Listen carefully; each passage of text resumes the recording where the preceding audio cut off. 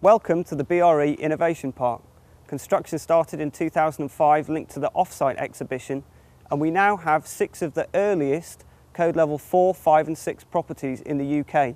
As you begin to design to higher levels of the code, 4, 5 and 6, you're likely to see increasing reliance on low and zero carbon technologies such as the wind turbines, photovoltaics and solar thermal that you see here on the Stewart Milne House.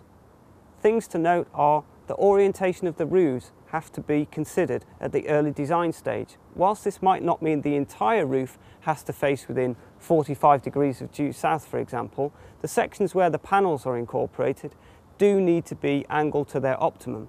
Here at the Stewart Milne House, they've used an advanced closed panel timber frame system to reduce heat loss through the fabric and improve the air tightness. But to get all the way to code level 5, they've had to include some low and zero carbon technologies.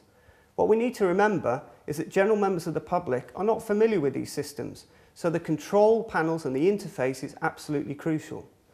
Here in the house we have a touchscreen heat control system, so I can actually see how individual rooms have been performing over the last few days. I also have the ability to open and close the roof lights automatically in the summer.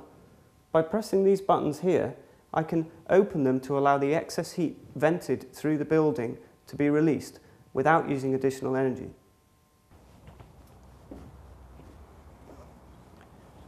You'll have seen now from the early sections of the training that there are lots of issues to consider when the code is used to design your development.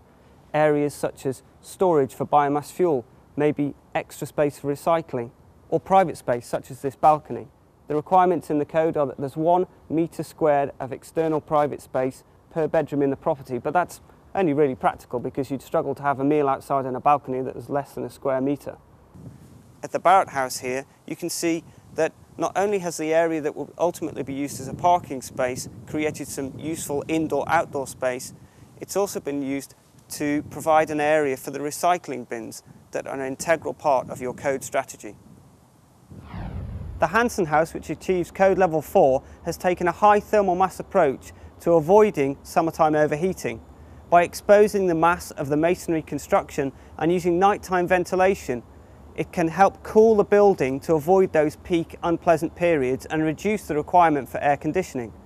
They've used these louvers as part of the window structure to improve that nighttime ventilation. The designers have created the building to exploit the natural passive stack effect. That's where high moves to low. So at night time, you open these vents to allow the cool air to come into the lower part of the building and the roof light open so that hot air can draw out. The key thing here though is this provides secure nighttime ventilation. So in a dense urban environment, you don't have to worry about leaving your windows open at night. When I first came to this project, I wasn't sure Gillian and Nigel could pull it off, but I really think they have. No, it's not an addition of grand designs, it's the Innovation Park.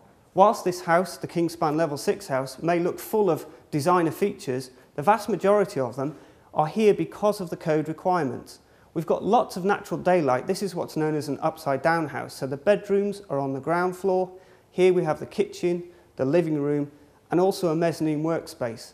That's because the daylight requirements are much higher for those areas in the code. So the designers have had to strike a clever balance between enough windows to allow the daylight in, not reducing the fabric performance too much in terms of heat loss, and maybe most importantly, not allowing too much light in so there's overheating. This is the Kingspan Code Level 6 house.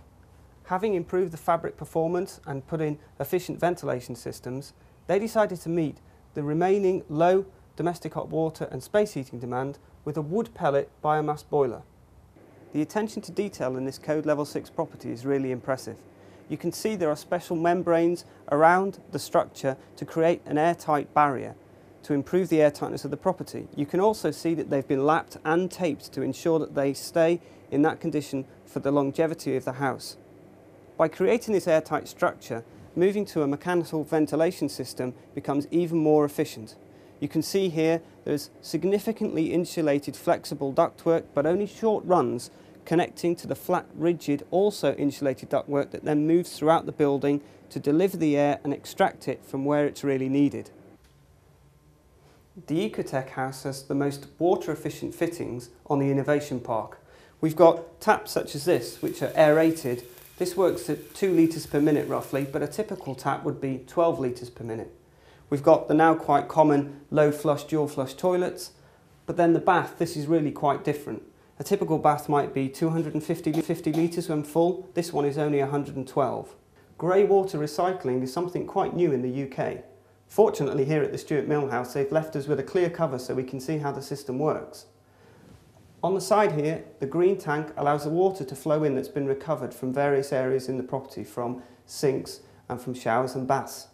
The water comes in, light material is scooped off at the top and heavier materials sink to the bottom. That's then flushed away in the normal system. But the water that's more purified moves into this blue tank ready to flush the toilets. We've discovered here that recovering water from sinks maybe not be the best idea because you'll find sometimes that coffee granules or similar material will come through the system and it may discolour the water in the toilets. Technically, not a really big issue, but in terms of consumer perception, that may not be the best way to go. This kind of system could save you 22 and a half litres of water per day.